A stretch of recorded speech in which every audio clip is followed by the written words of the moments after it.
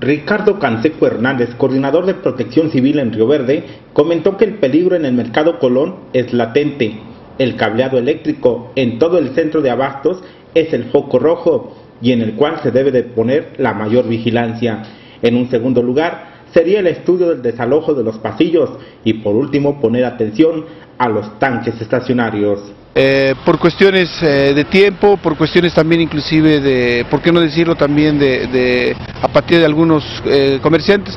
Algunos se sumaron al proyecto, algunos hicieron sus cambios, algunos este, trabajaron en ello, pero quedó todavía mucho pendiente. Desafortunadamente pues hay que seguir trabajando, insistiendo en este proyecto. se había contratado proyecto con algunas gaseras, no se pudo llegar a acuerdos este, internos en el mercado también para que se lograra este, el abastecimiento de, un cilindro único para, los diferentes este, locales del mercado, lo que sean las, las fondas.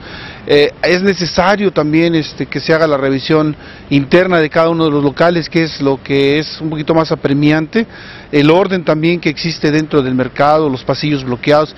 Entonces, este, eh, pues sí, sí, sí quedó pendiente, eh, desafortunadamente pues faltó colaboración por parte de, todos en este sentido. Eh, sí, eh, de hecho se ha hecho revisiones en los cilindros de gas, algunos eh, tienen 10 años de uso, ahí lo que es conveniente es que el llenado de ellos no sea al 100%.